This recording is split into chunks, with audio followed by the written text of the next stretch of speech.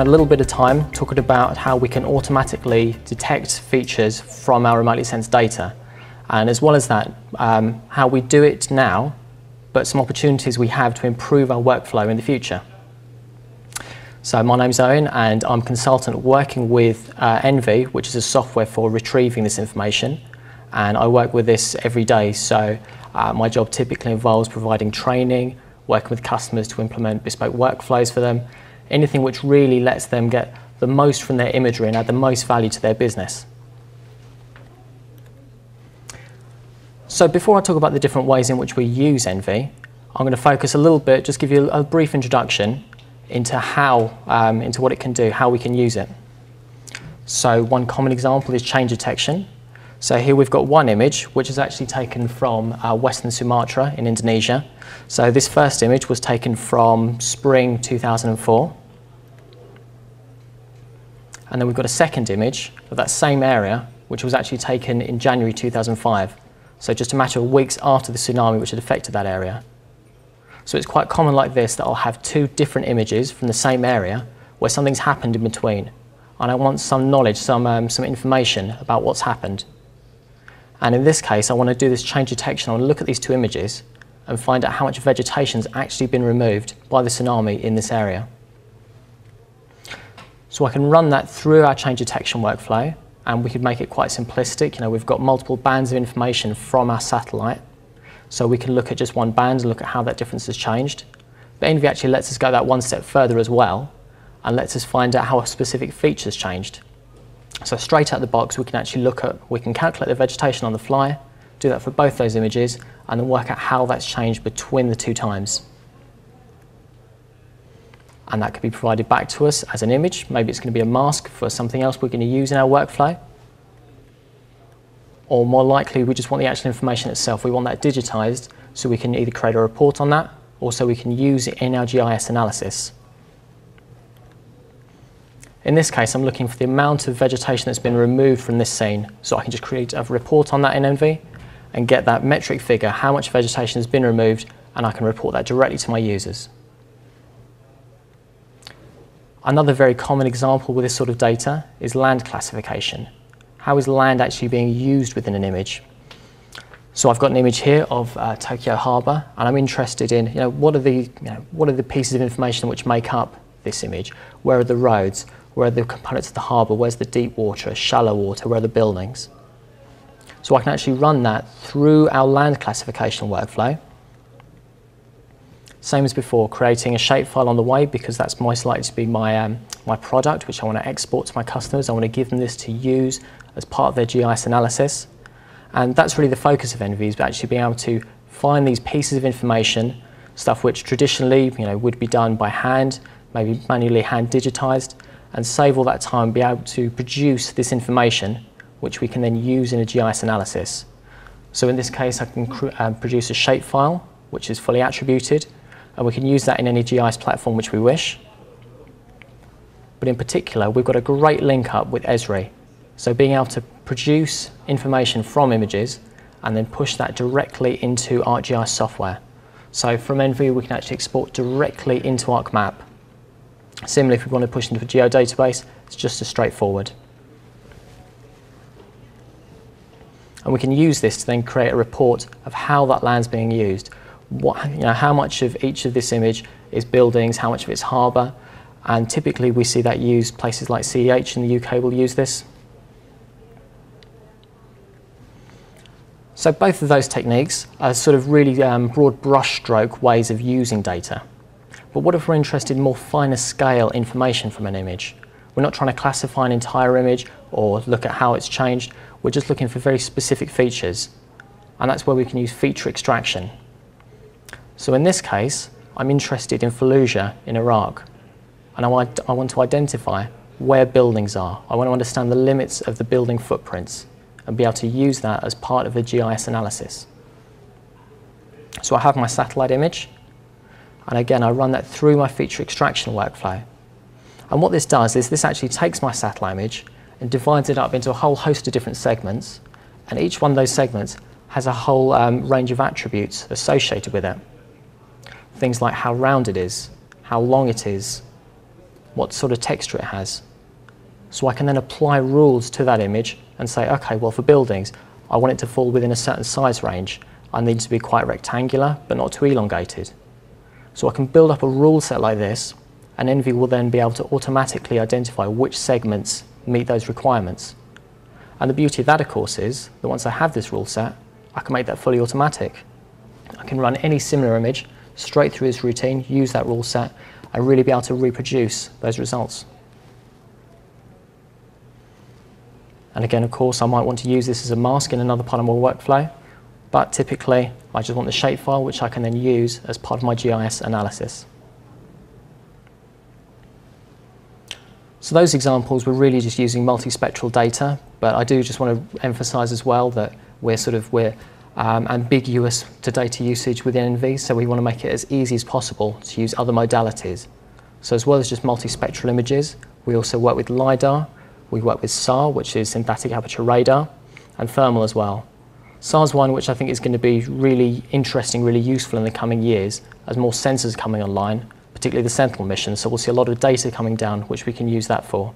And SAR's really about timeliness. Um, we have a high repeat time sampling areas, so we can see really small scale changes, such as subsidence. So I think that one will be really interesting.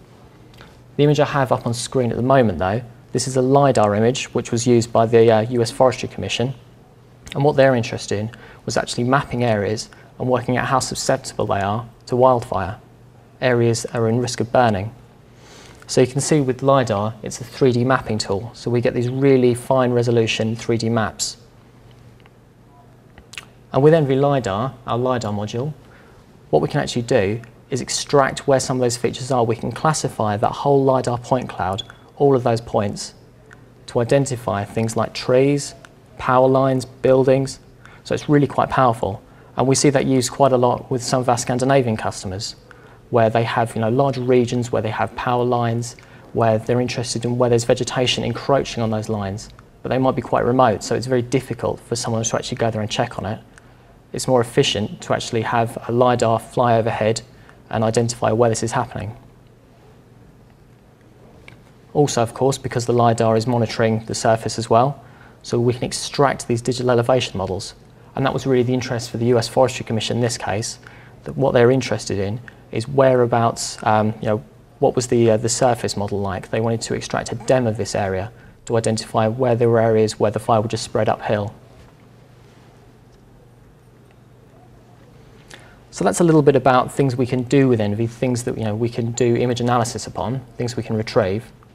But what I'm going to talk to you about today is a different way that we can work with ENVI. So traditionally, we have you know, our machine in front of us, my laptop here, and we're using ENVI locally here. We're performing our analysis on our machine in front of us. We have some local data associated with that. Perhaps we also have some network storage which we're retrieving information from.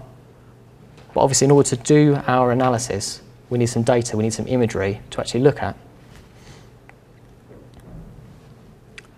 But how did we get that data? How did it get onto our laptop? How did it get to our local storage? Well, we've had to find out which area of the world we're interested in. Uh, we've then maybe had to connect if it's a commercial uh, instrument we're using.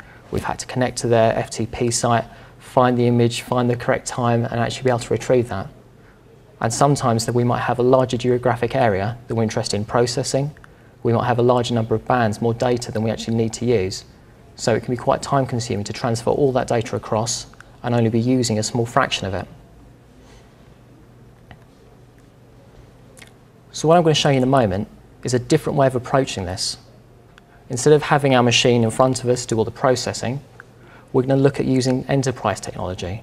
To look at moving that processing to the cloud.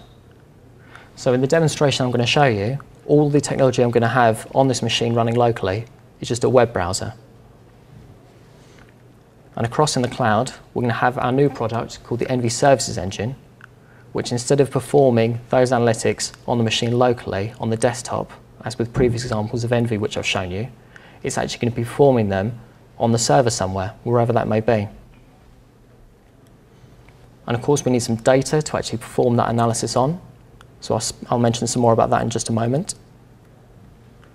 And we need some middleware, something which is actually going to retrieve, re receive a request, tell the service engine, go ahead, do your processing, and then be able to return that, return that information to us. Because we've got a question we want answered, we want to get the answer back.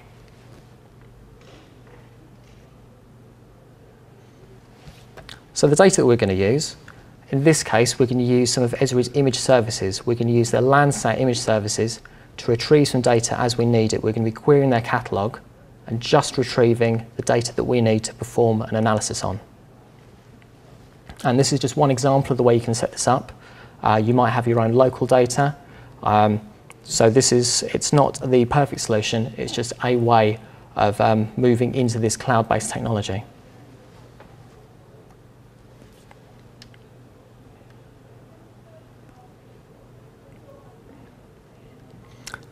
So what I have here is a web page. On the left-hand side, you can see that I've got a list of services which are available to me, services which I can query, I can retrieve imagery for.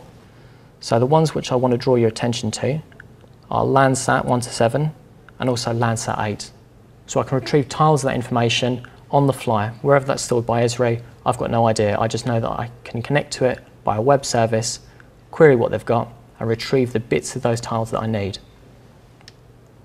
In the middle, we have a map, and the map is simply just providing context. It's showing our user, you know, this is the area we're looking at, this is the area which you're going to retrieve data for and perform analysis on. And in fact, you can see as I move the map around, I've got a list of tiles underneath. So that's actually showing me which Landsat tiles are available, which ones will I want to choose to perform analysis on. Because obviously the timeliness might be important to me as well. I might need to have my, um, my processing performed at a very specific time. And I think the bit which I really want to show you on the right hand side, which you won't be able to make out from there, you, we have a lot of different image processing tasks. So all the good stuff which has been in ENVI, all the stuff which has been in ENVI for you know 20, 25 years now, which is well known, well used and well defined, we've exposed as much of that as possible as these services. So when you have this service engine, you don't have to write everything for yourself. We have a lot of functionality available straight out the box. So if you've got a really well-defined workflow on the desktop in Envi, then you can move quite readily to this service environment and really make the most of that process being well-formed, well-founded. So for instance, here we are in London today.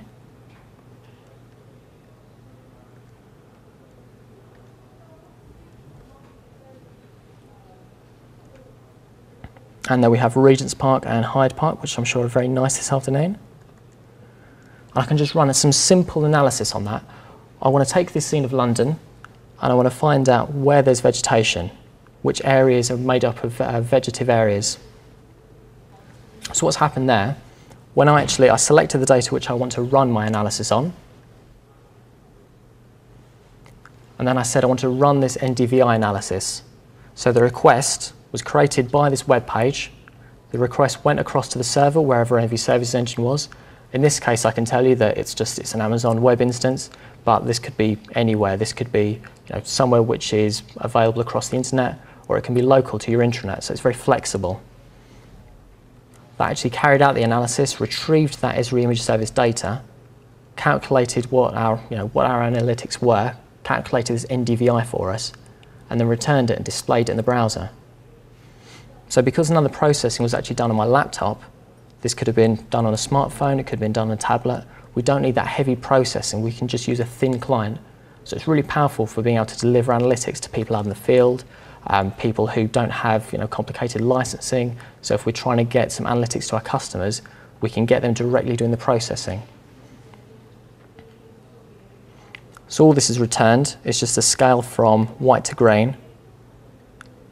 You can see the areas in dark green, the high vegetation, so I can see our London parks there. And in fact, we can see all those individual little squares, those nice squares that make up London. Be a nice place to be this afternoon. So that's just a simple example, just to give you that idea of how we're not doing the processing locally. We're making that request to somewhere, and then we're getting our answer back. A little bit more of a detailed example. If I look at Mafraq in Jordan,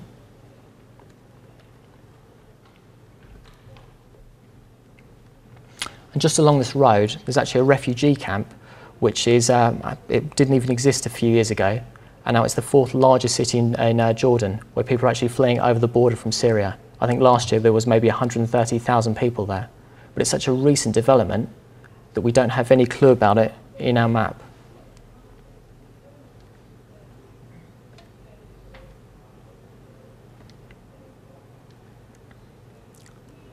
So if I were to look at my Landsat 8 service, which has some more recent data in it, and I can look at something from quite recently, so this is the 7th of May 2015.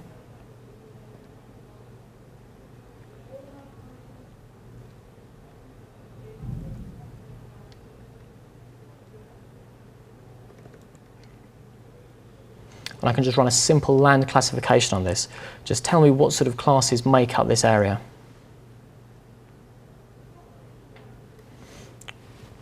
So again, I've selected the data, I've formed that request using this web browser, and that request has just gone to the server up on the Amazon cloud, which is then going to carry out the analytics, retrieve the data, and then give us back our answer. So this is quite a straightforward example. What we've done there was just done a classification of urbanised areas, and I could then use that to actually compare with my map and identify where this urbanised area is, which doesn't appear on the map. And because of this high repeat time from the Landsat data, I can actually see how that changes over time. I can look at that, I can download the data itself. So I could actually do this analysis remotely and then retrieve the data and carry out more analysis on it, or in fact just generate a shapefile and retrieve that locally. So it's a great way of combining different technologies. And in fact, in this case, I have an idea of where urbanised areas are, but of course I might be looking for something specific. This is a very large refugee camp, so they're using very particular tents. So I can actually look for that spectral signature, maybe provide some training data, and identify specifically where that urbanised area is. And there's one other example I'd like to show you, which is just a little bit more complicated. So obviously if we look to Dubai, there's a lot of um, development work that's happened there in the last 10 years or so. And from this Landsat imagery, we've got a fantastic historical record so we might be interested in where there's been new developments, where there's been change between one time and another one. So I can look here and see that in fact we've got these world islands in Dubai, which I know didn't exist a few years ago. So let's try running that through our change detection workflow. What would we expect to see?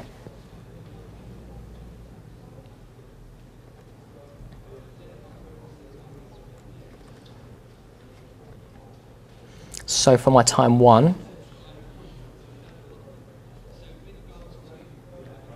have an image taken from 2000.